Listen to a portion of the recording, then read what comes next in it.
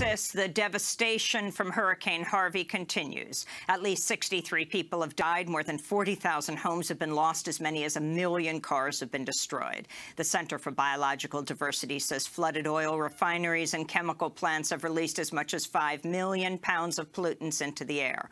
Among those who've died were volunteer rescuers Alonso Guillen, a DACA recipient, and Thomas Carreon. The two drove more than 100 miles from Lufkin, Texas, in order to help rescue people. Their bodies were found Friday after their boat capsized days earlier. Guillen's mother told the Houston Chronicle she tried to come from Mexico to the U.S. to bury her son, but was turned away by Border Patrol agents. She said, when we are with God, there are no borders. After headlines, we'll spend the rest of the hour bringing you voices from the ground in Houston.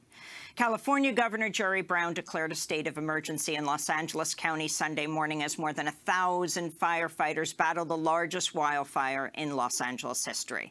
The La Tuna fire erupted Friday, quickly grew to encompass more than 7,000 acres just north of Los Angeles, the second largest city in the United States. The fire shut down the 210 freeway and forced hundreds of people to evacuate.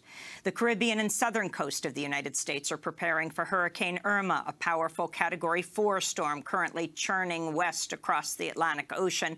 Both Puerto Rico and Florida have declared states of emergency. The storm is expected to make landfall on the island of Anguilla on Wednesday and then continue toward the U.S. coast. In more climate-related news, more than 100,000 people have been forced to evacuate their homes in Nigeria because of widespread flooding in the center of Nigeria. In South Asia, the historic flooding that's killed more than 1,200 people has also destroyed as many as 18,000 schools, leaving as many as 1.8 million children unable to go to class.